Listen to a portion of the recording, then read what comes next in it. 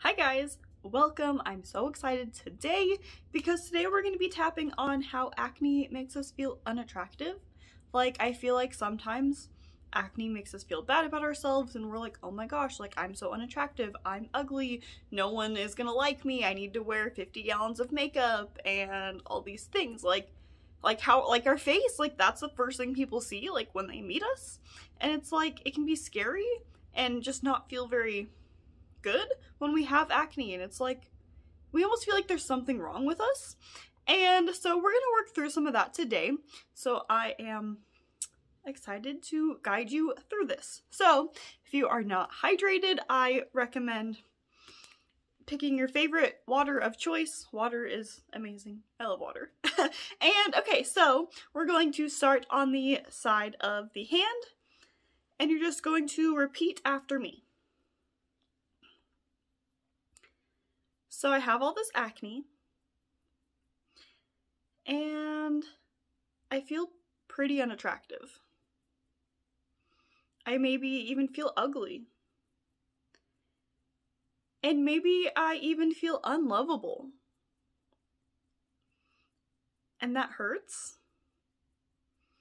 And it sucks. And I just want to feel better. I want to feel better about my skin. I want to feel better about myself. And I really just want to feel pretty. But it's hard because I don't feel that way. All of the pretty people with their clear skin get literally all of the attention. And then here I am, hanging out in the shadows, getting no attention. Like I'm not special. And that hurts too. I really wish people could just see me for me and not see my acne. I feel slightly judged for having acne. And I'm tired of all of it. And I'm tired of feeling this way. So, even though for the longest time my acne has made me feel bad about myself, I deeply and completely love, honor, and accept myself, anyways. And maybe I can begin to have some compassion for myself and for my skin. Because maybe I'm not very kind to myself.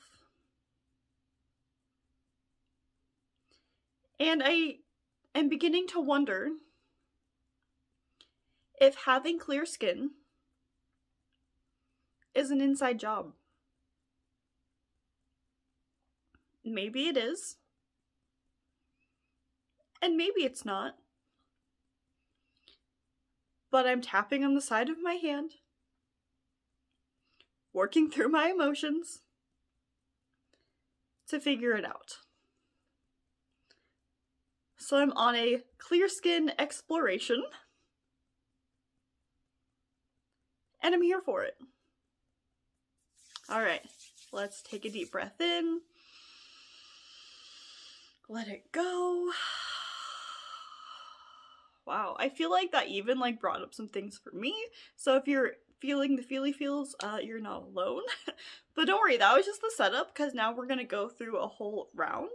So hydrate, I highly recommend hydrating. Okay, so we're gonna start at the top of the head and you're just going to repeat after me. I'm so tired of having acne. It's like I've been cursed. Why don't I have the good skin genes? Because that'd be pretty cool. But unfortunately, my skin is angry. As am I. Because this is bullshit. And having acne makes me feel so bad about myself. And I'm tired of feeling bad about myself. I no longer want to feel unattractive. I no longer want to feel unlovable. And are there parts of myself that feel this way? Maybe it's not my acne feeling unlovable. Maybe it's my inner mean girl. Blaming my acne for the lies that she tells me. Lies such as I'm so ugly. No one will ever love me. I'm so unattractive. Maybe she tells me I'm hideous. And all of these things are lies. I really need to fire her. Because she just lies to me all the time. I wonder where my inner mean girl picked these lies up.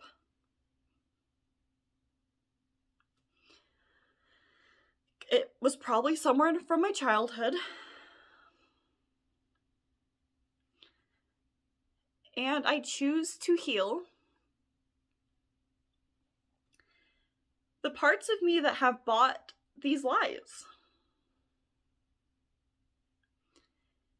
If my garage was full of all kinds of junk. At some point, I'd have to clean out my garage.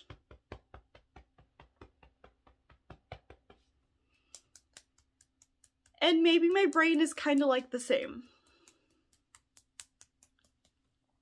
All of these lies are a bunch of junk. And it's time to clean out my brain.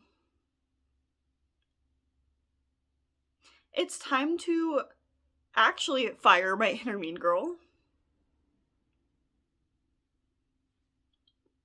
And I want to choose better beliefs.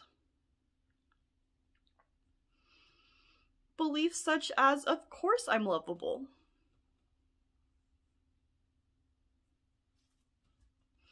Of course, I'm beautiful. Beliefs such as people love me for me. People see me for me. My acne does not determine how other people treat me.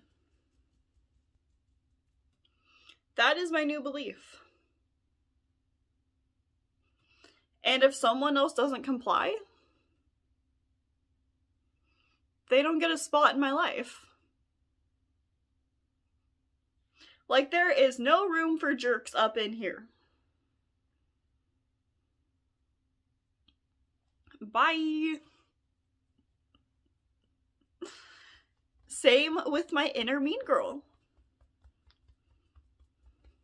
Bye. And I'm ready to start watching my self-talk.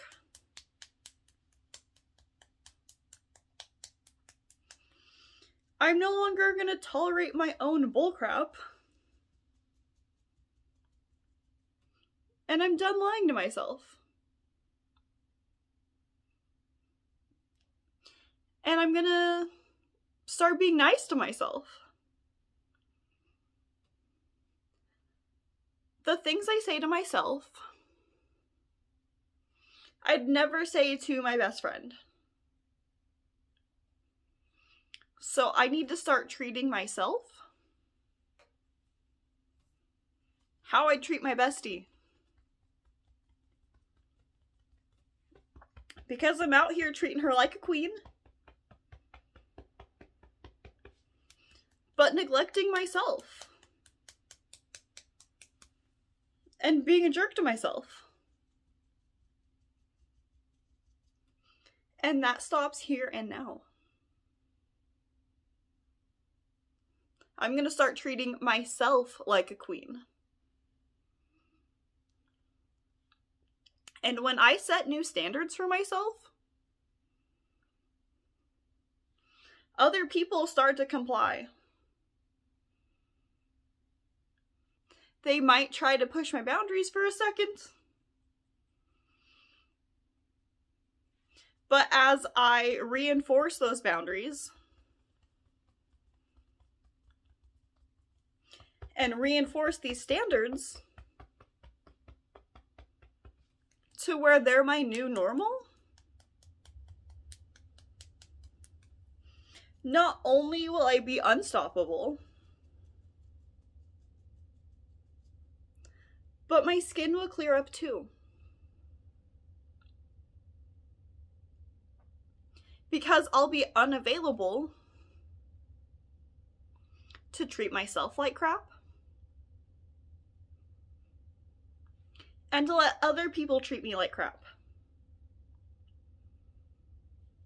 Like, no thank you. Take your trash attitude elsewhere, please.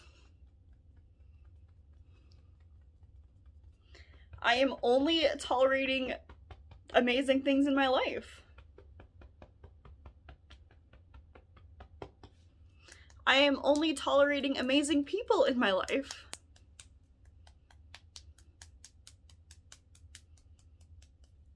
and I'm only tolerating the best thoughts about myself.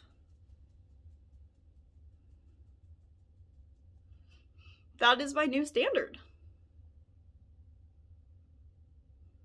That is how it is from now on. Because I deserve the best. And as I give myself the best,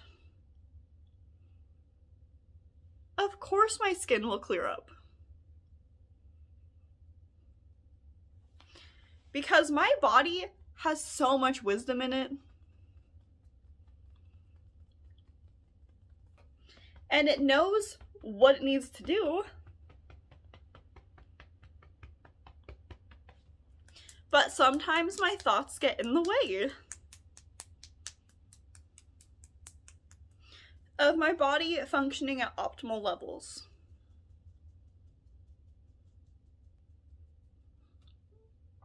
So as I'm kinder and nicer to myself, my skin will no longer have to purge my jerkness. So yes, I'll have clear skin. And it might happen super fast. Or I might just have to practice a lot. Being kind to myself. But no matter how long it takes, I know it will be so worth it. So even though for the longest time, I've been a jerk to myself and told myself all these lies, I deeply and completely love, honor, and forgive myself anyways.